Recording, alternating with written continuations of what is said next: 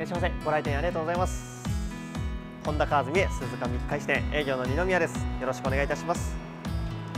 新型 N ボックスを検討されているということで現社の方で確認していただけたらなと思いますのでそれでは早速見ていきましょう。はいこちらが N ボックスカスタムの、えー、ブルーなんですけどまずですねこれフォグライトオプションになりました。後付けになります。ここをなんか皆さんちょっとえ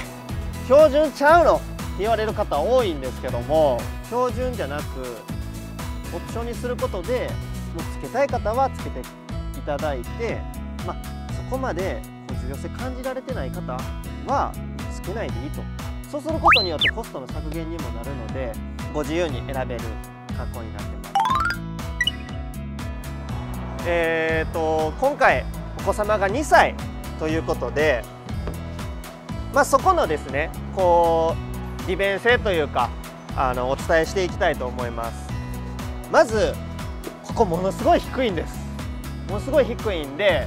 まあ、お子様でもこう簡単に乗り降りできる高さになってます。はい。でやっぱり N ボックス上も高いんですね。なんでこうちょっと大きくなっても頭ぶつけるっていうことがあんまりまあ較的少なくなると思います。はい、で、えー、ライフ乗ってらっしゃったということなので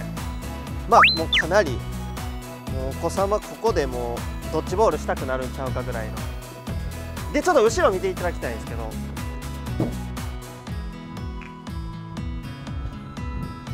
これまた後ろも大変低くなってるんですね。でまあまだベビーカーとかそういうの使われると思うんですけどもベビーカーを乗せる時とかもですねここかなり下が低くなってるので簡単に奥様乗り下ろし積み下ろしですねできます。一番低いです軽自動車の中で。はい一番低いですすっごい楽ですこれ。マルチビューカメラシステムがですね初搭載されました。はい。これって非常に重要なんですね。ましてやお客様あのちっちゃいお子様2歳のね息子様がいるっておっしゃってました。ってことはですねよくあの保育園とか、ま、幼稚園であったりとかそういった園に行く機会が多いですよね。でやっぱりそういうところってまあってはならないんですけれどもこう万が一こう駐車場でバックしてる時にこうお子様とかがですね車の周りを走り回ってたりとかが万が一あった場合に非常に危険ですね、はい、非常に危険です。ただそういった時にこのマルチビューカメラシステムっていうのはもう全方位映し出されるのでもうここ見ていただいたら安心ですよね。はい。やっぱもう僕は一番僕が一番伝えたいのはもうここなんですね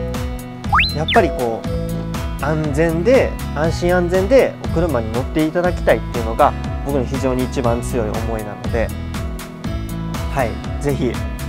ぜひ NBOX 検討される時はですねマルチビューカメラシステムを搭載されているグレードを選んでいただいてご購入検討していただけたらなと思いますので。ありがとうございました。こんなに魅力たっぷりの新型 NBOX、えー僕が今回紹介させてもらった以外にもいっぱいあります。もっといい機能が。ちょっとお伝えしきれないところもありましたのでまたもっともっと知りたいっていう方はですねあの他の店舗さんでもですねあの違う形で新型 N ボックスのご紹介させてもらってますのではいまたそちらもチェックしてください。